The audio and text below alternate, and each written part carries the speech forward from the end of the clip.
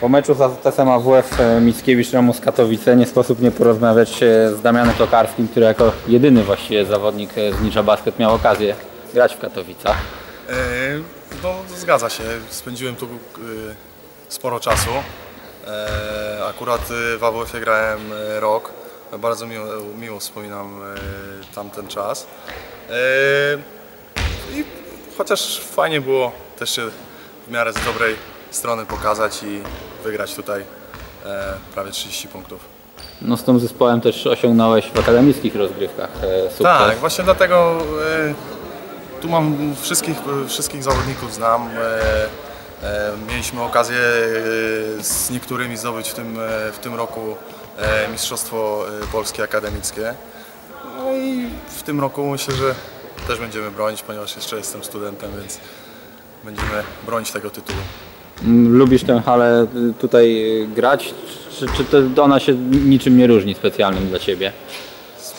No to, no to, to wiesz jak jest. No, w zależności jak e, tak naprawdę wyjdzie mecz, bo może być e, hala, której się nie lubi, a e, parę dobrych akcji się zagra i, i się człowiek rozkręci, a e, może być taka hala, gdzie e, dobrze się czuje, ale, ale e, jednak e, tych zdobyczy punktowych nie ma i wynik drużyny też nie jest e, taki, jaki powinien być, więc to jest kwestia taka W Katowicach mogłeś e, liczyć na wsparcie znajomych, ta obecność ich pomogła, czy deprymowała? Nie, no na pewno, na pewno. Bardzo, bardzo się cieszę, że odwiedziło mnie tutaj.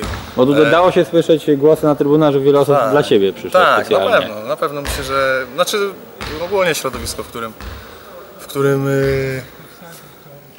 w którym przebywałem tutaj, to jest y, ściśle koszykarskie, więc tutaj każdy o, w miarę interesuje się tym sportem. Przyszli na mecz, dopingowali, bardzo miło ich było zobaczyć. E, Teraz mam ferie, będę chciał nadrobić trochę zaległości, które miałem na studiach i y, zobaczymy jak to będzie. Czy, czyli Ty szybko wrócisz do Katowic? E, znaczy ze z Pruszkowa się nie, nie zabieram, mam nadzieję, ale e, na studia na pewno, na chwilę. A jak ocenisz dzisiejsze spotkanie? Łatwe zwycięstwo. Damian Janiak też y, m, z perspektywy wyniku ocenił, że chyba najłatwiejsze y, z Nisza Basket. Twoim zdaniem też najłatwiej Wam się grało i naj, najluźniej? Ciężko, ciężko stwierdzić, może nie, no, e, mam, mieliśmy nauczkę na pewno po poprzednich meczach, gdzie e, z Astorią w, w, w, w Prudniku wygrywaliśmy, e, z Legią wygrywaliśmy i nie mogliśmy dopiąć tego do końca. No teraz trener e, nam e, cały czas e, mówi, żebyśmy docisnęli e, jak jest 10, to jeszcze więcej, jeszcze więcej, żeby jak najwięcej tych punktów zdobyć, żeby jak najwięcej tą przewagę e, budować i nie dekoncentrować się, chociaż w końcówce było trochę momentów dekoncentracji, e, z czego wynikały straty, ale w konsekwencji wygraliśmy, tak jak mówię, 30 prawie punktów, więc, e, więc no to wynik pokazuje, że, że najłatwiejsze nasze zwycięstwo na wyjeździe, jakby nie patrzeć. Ja pamiętam Twoje słowa po meczu w Warszawie w szatni, kiedy powiedziałeś, że zawsze czegoś Wam brakuje, bo i właśnie w Bydgoszczy zabrakło niewiele do szczęścia i w Prudniku, no i też w Warszawie. Taki, taki moment, że prowadzicie i nagle Tak. coś się zacina w ataku, w obronie, rywale wy- wykorzystują Wasze Tak, no ale niedoskonałości. to, to, jest, to jest kwestia tego, że, że, że jesteśmy młodą drużyną, tak? Ja jestem najstarszy w drużynie, ale e, mamy młodych kolegów, e, każdy popełnia błędy, każdy tu łapie, próbuje złapać to doświadczenie e, i, i, i to czasami to tak wygląda, że może za bardzo chcemy i tracimy tą przewagę, którą budowaliśmy, a później przeganiają nas i tak jak w, Prudniku, czy w, Bydgoszczy, czy w Legii właśnie przegraliśmy te końcówki, które, y, które de facto te mecze powinniśmy wygrać. No. I zupełnie by inaczej wyglądała tabela teraz. 13 zwycięstwo y, ligowe stało się faktem, to już coraz bliżej tego upragnionego awansu do playoffów, ale, Tak. jeszcze, ale jeszcze z drugiej strony daleko.